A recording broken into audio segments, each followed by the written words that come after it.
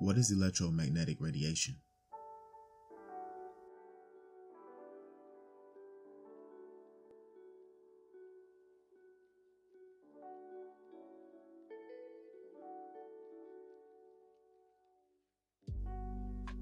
Electromagnetic radiation is a form of energy that is all around us and takes many forms, such as radio waves, microwaves, X rays, and gamma rays. Sunlight is also a form of electromagnetic energy. But visible light is only a small portion of the EM spectrum, which contains a broad range of electromagnetic wavelengths. Electricity and magnetism were once thought to be separate forces. However, in 1873, Scottish physicist James Clerk Maxwell developed a unified theory of electromagnetism. The study of electromagnetism deals with how electrically charged particles interact with each other and with magnetic fields. There are four main electromagnetic interactions. 1. The force of attraction or repulsion between electric charges is inversely proportional to the square of the distance between them. 2. Magnetic poles come in pairs that attract and repel each other much as electric charges do. 3. An electric current in a wire produces a magnetic field whose direction depends on the direction of the current. 4. A moving electric field produces a magnetic field and vice versa. Maxwell also developed a set of formulas called Maxwell's equations to describe these phenomena.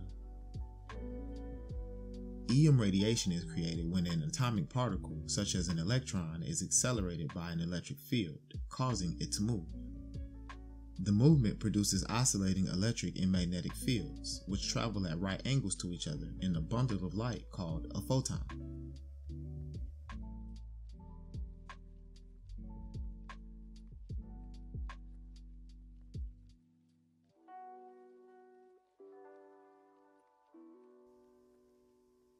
These last two sentences solidify the fact that our presence is enough to create energy. We ourselves produce a field wherever we go. We always have a field emanating from our being. So wherever we go, we can cause the atomic particles in the air to move.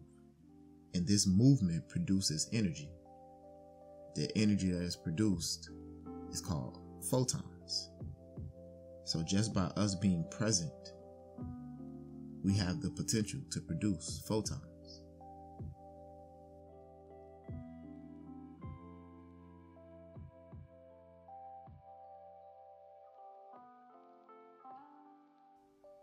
But let's continue.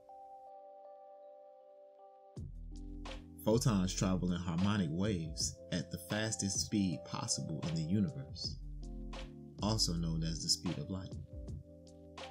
The waves have certain characteristics given as frequency, wavelength, or energy.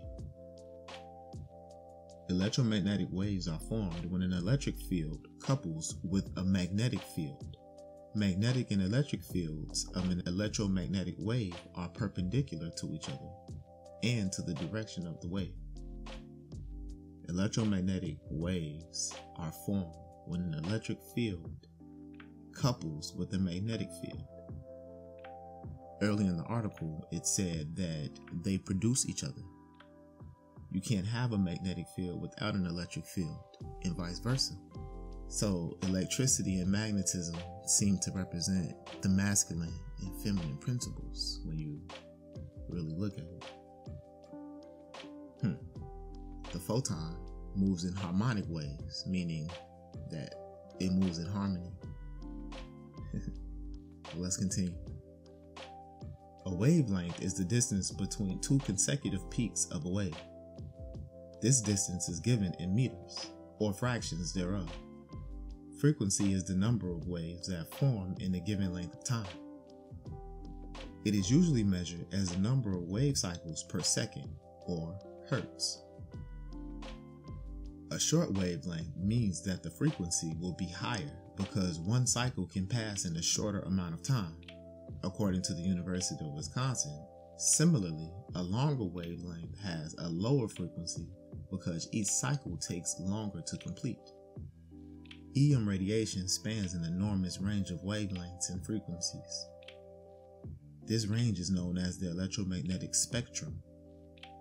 The EM spectrum is generally divided into seven regions in order of decreasing wavelength and increasing energy and frequency.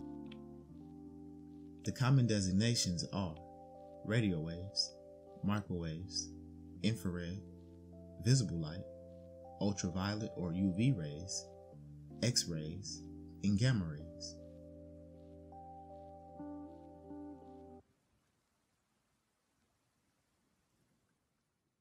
Typically, lower energy radiation, such as radio waves, is expressed as frequency.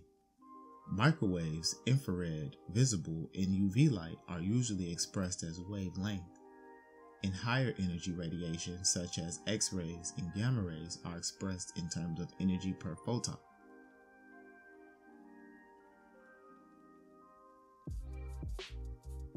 The article used in this segment was found at livescience.com.